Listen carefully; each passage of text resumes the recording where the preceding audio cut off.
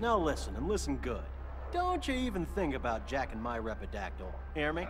Relax, I don't care about your repel... repel baloney.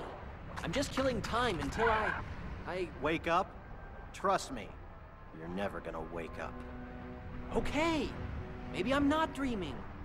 Maybe... maybe this is real. Oh, it's as real as they come. Get used to it. You're still just one more speck of dust trapped here on the most pathetic plane of the multiverse. I'm no speck of dust. I can do anything. Really? I bet you can't even rescue that lizard egg. Piece o' cake. I'll be back in no time. Egg in hand.